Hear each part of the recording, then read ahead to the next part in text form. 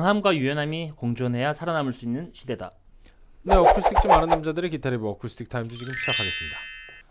강함과 유연함이 공존한다. 정말 쉽지 않은 얘기죠. 공존해야 살아남을 수 있지 않을까라는 음. 생각이 듭니다. 자기의 소신은 강하며 음, 뭔가 남의 말은 좀 잘 받아들일 수 있고 음. 뭐 이런 음.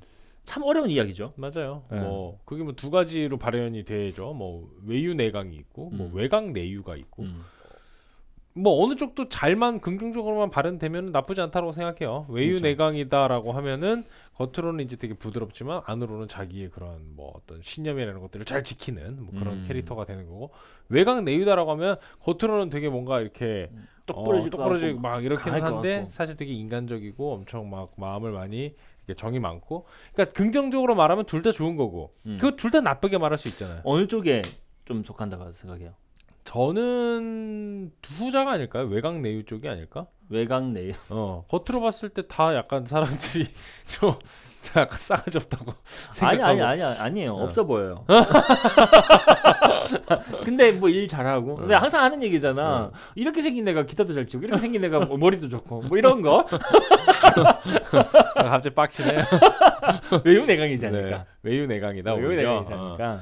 그러니까 뭐 사실 그 공존시키는 거는 단지 뭐 겉과 속에 대한 이야기라기보다 그냥 음. 뭐 이제는 어, 겉이든 속이든 복합적으로 나타나야 된다고 네, 생각을 해요. 네. 맞아요. 필요할 때는 되게 강하게 뭔가 확실하게 대처를 해야 될 음. 필요도 있고 그리고 또 필요에 따라서는 엄청 유연하고 또 평화롭게 어, 그렇게 대처를 해야 될 때도 있고 그러니까 결국에는 어, 외강 내유냐 외유 내강이 아니, 아니라 뭐 얼마나 그 되게 다양한 역할을 수행할 수 있느냐가 그렇지, 그렇지. 많이 요구되는 맞아요. 되게 여러 가지 multiplay가 가능한 그런 플레이어를 원하는 음. 시대다 이런 생각이 드네요. 명호 씨는 뭐 어떻게 대응하고 계세요? 저는 어, 강함과 유연함. 사람들이 보기에 제가 되게 강하게 보이나 봐요. 키도 음. 이제 physical이 좀 음, 이제 크니까. 크니까, 어. 그리고 생긴 것도 조금 무섭게 어. 생겼고 커다람. 음. 그 말도 약간 사투리 많이 쓰고 음. 하니까 강하게 보시는 분들이 많은데 저는 반대로 외 그 뭐냐 외강 내유이지 않을까라는 음. 생각이 좀 드네요. 그렇군요. 네. 뭐 부드러워요 아내가? 어, 나는 엄청 부드러운 사람입니다. 어디다 대고 어디다 대고 이상한 짓을 하고 있어? 아 그렇게 느껴졌어. 어. 알겠습니다. 어쨌든 그 두 개가 공존하는 것이 굉장히 쉽지 않다. 음. 아, 뭐 그런 생각이 들고요. 근데 뭐이 다양한 역할을 잘 수행을 하는 게 중요하다. 뭐 이런 걸 이제 뭐 당연히 악기에도 적용을 할 수가 있겠죠. 그런 강함과 부드러움이 공존하는 그런 사운드. 그래서 음, 여러 가지 영역에 여러 가지 영역에 되게 매력을 잘 발산할 수 있는 그런 음. 사운드의 영역을 만들어내는 게 그게 어떻게 보면 좋은 악기의 어, 그런 뭐 조건이 아닐까 뭐 이런 음. 생각이 드네요.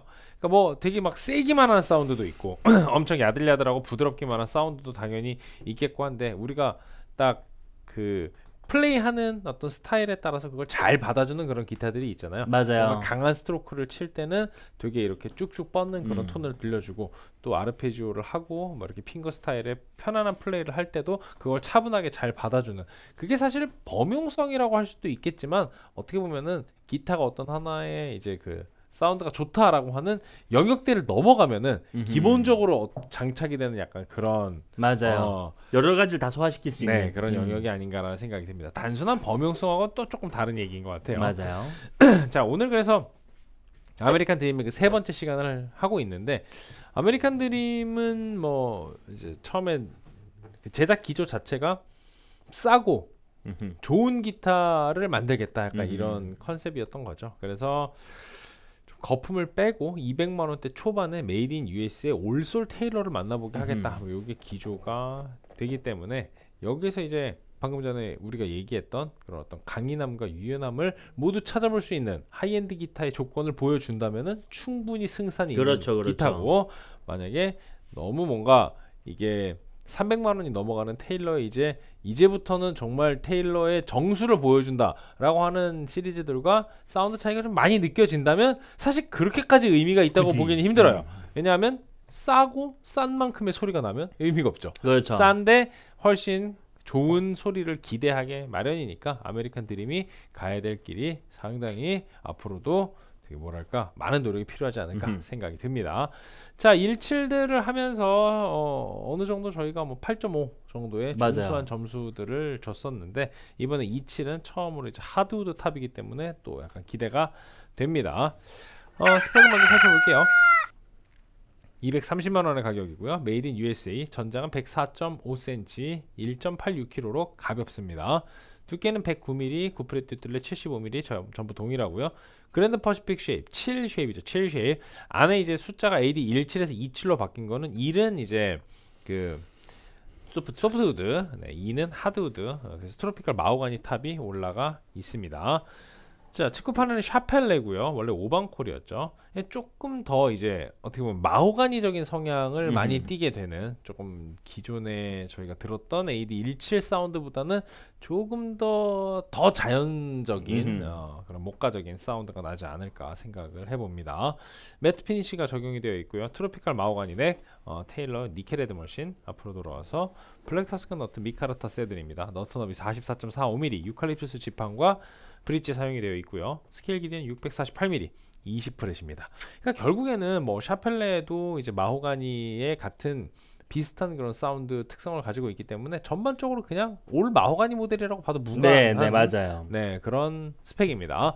그러니까 지금까지의 기존에 어떻게 보면은 이제 로즈우드 마호가니로 하기엔 이제 가격대를 맞추기가 쉽지 않으니까 그걸 이제 ovangkol과 sapele로 이제 정리를 한 게 아닌가? 네, 음. 싶습니다. 그래서 semi rosewood, semi 마호가니 정도로 보시고 한번 사운드 모니터를 해볼게요. 들어보겠습니다. 사운드 들어보겠습니다. 확실히 느껴지네요.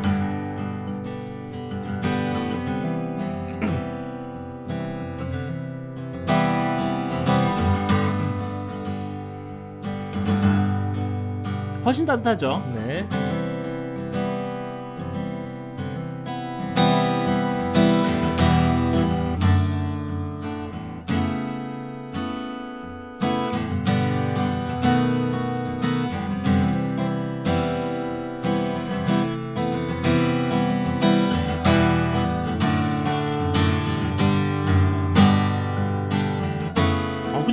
되게 좋은데. 좋아요. 저 지금 되게 엄청 만족하면서 듣고 있어요.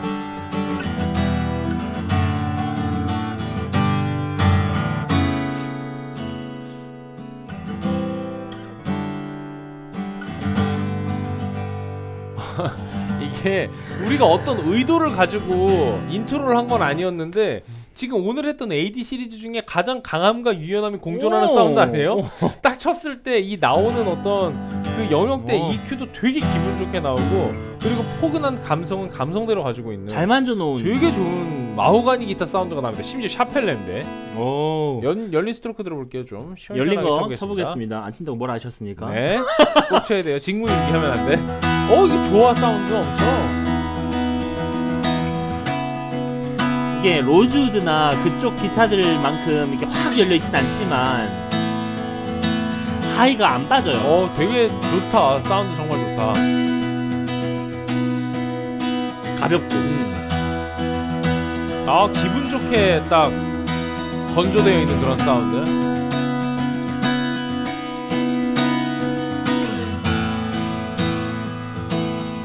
소리 진짜 좋네.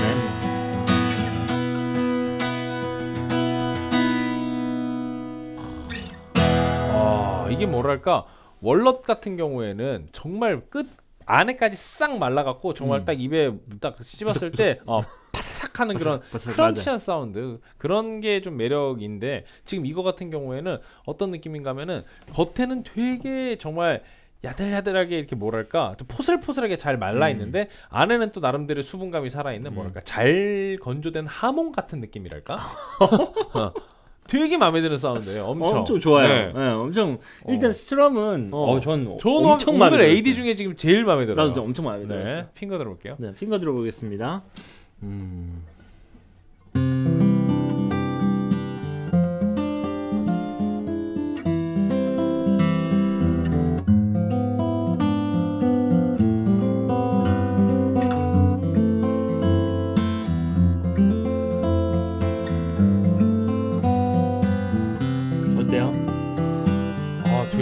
따뜻한 감성도 정말 잘 뽑히네요. 스트로크 칠 때 그런 시원함도 나오고.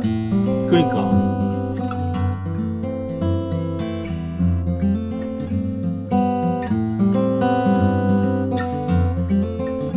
아, 어술 좋네. 근데 이 기타는 그 엘릭서보다 다다리오가 좀 잘 어울리는 것 같아요. 음. 어때요? 엘릭서였으면 되게 미끌미끌한 사운드잖아요. 음. 약간 샤한 느낌의 어. 그런 사운드인데 이 쓰는 소리랑 이런 것들이 엘릭서보다는 음. 다다리오에 더 잘 맞는 기타인 것 같아요. 음, 느낌 자체가. 밸런스가 좋다. 응. 알겠습니다. 근데 정말 좋네요. 뭐랄까 finger 그 스트로크를 우리가 strum 사운드를 이제 외적인 사운드로 보고 이 finger style을 내적인 사운드로 봤을 때 외강내유가 잘 맞는 그런 컨셉의 기타예요, 진짜. 아, 전 되게 좋네. 어, 되게 마음에 듭니다. 이게 차라리 이게 잘 어울릴 것 같아요.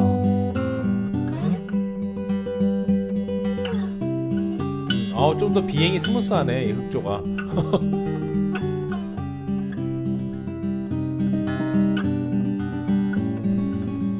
이거 테일러 안 같은데? 소리 되게 좋은데요? 이거 테일러 안 같은데 소리 아니 아니, 좋 아니 아니 테일러 안 같은데 소리가 좋다는 이야기. 어, 테일러 소리가 안 좋다는 얘기가 아니라 너무 지금 오해 이 요지가 있어. 문장이 오해 너무 소지가. 오해 소지가 있었잖아. 깜짝 놀랐네 지금. 아, 자 그렇습니다. 자, 어떻게든 여러분들- 까보려고. 여러분들 오해하지 마시고요.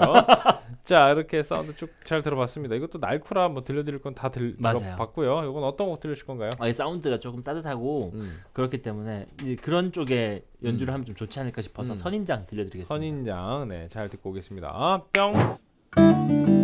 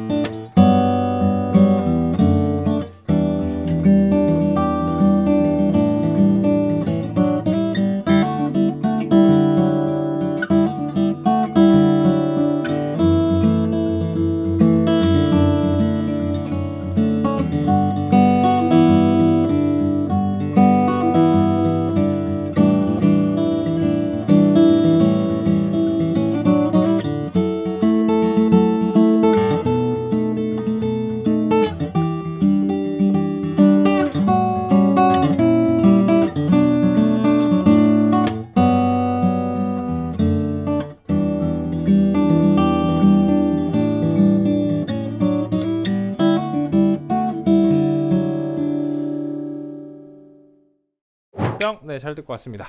네, 사운드가 따뜻하기 때문에 선인장을 했다고 하셨는데 사운드가 따뜻하니까 오히려 딥임팩트 막 이런 거 해야 되는 거 아니야? 우리 그때 얘기했었던 그 영화 얘기 있잖아요. 가서 결국에 뭐 추천하셨어요? 아 맞아. 어. 저 결국에는 겨울왕국 했어요. 겨울왕국 했어요? 네, 아, 너무 겨울왕국. 무난하게 갔다. 아, 저기 아니. 2012 투머로우 이런 거 하자니까. 민경이가 뽑아는 되게 약간 감동적이고 이런 걸 가지고 온 거야 어. 따뜻하게. 근데 내가 거기다 대놓고 막 이렇게 아, 투머로우 좀 너무 분노의 영유. 아? 그래서- 네. 알겠습니다. 자, 어, 그 응수 씨네 네, 정원 밴드가 요즘 계속 출연 중이니까 여러분들 관심 가지고 또 봐주시고요. 어, 오늘 요 AD 27 확실히 오늘 했었던 아메리칸 드림 기타 중에 저는 가장 제 취향에 잘 맞았던 기타였고 음흠. 밸런스도 굉장히 좋은 것 같습니다. 자, 명업쇼 답으로 한줄평 드릴게요. 네, 지금 봤던 7 시리즈 AD AD 시리즈 그 뭐냐 아메리칸 드림에 가장 적합한 기타가 이 기타가 아닌가라는 음. 생각이 들면서 아메리칸 드림이 가야 될 길은 이 길이다라고 드리겠습니다. 알겠습니다. 정말 뭐랄까 강하고 부드럽고 이런 것들이 다 나오는 이런 되게 좋은 조건을 가지고 있는 high-end의 어, 그 뭐랄까 여러 가지 조건들의 딱 그 초입에 서 있는 그런 좋은 밸런스라는 생각이 들고요. 저는 문무를 겸비한 기타 이렇게 드리도록 하겠습니다. 네 점수 몇 대 몇? 네, 9.5. 9.5, 9.5 상당히 좋은 점수가 나왔습니다. 아, 저 저 너무 마음에 들었어요. 아주 좋네요. 네. 자, 9.5, 9.0 점수가 확 올랐어요. 자, 이렇게 테일러 AD27에서 우리가 또 아메리칸 드림의 새로운 가능성을 또 한번 확인을 해 봅니다. 음흠. 단순히 싸게 만들기 위한 기타는 아니었다. 음흠. 네, 이런 걸 확인을 해 봤고요. 다음번에 이제 또 오늘 새롭게 알게 된 GT. 아, 그리고 AD 또 나머지 모델들도 기회가 되는 대로 소개해 드리도록 하겠습니다. 자 오늘 테일러 시리즈는 여기까지고요. 다음번에 더 재미있는 기타들 모아서 가지고 돌아오도록 하겠습니다. 유튜브 구독과 좋아요는 저에게 큰 힘이 됩니다. 어쿠스틱 타임스. 타임스.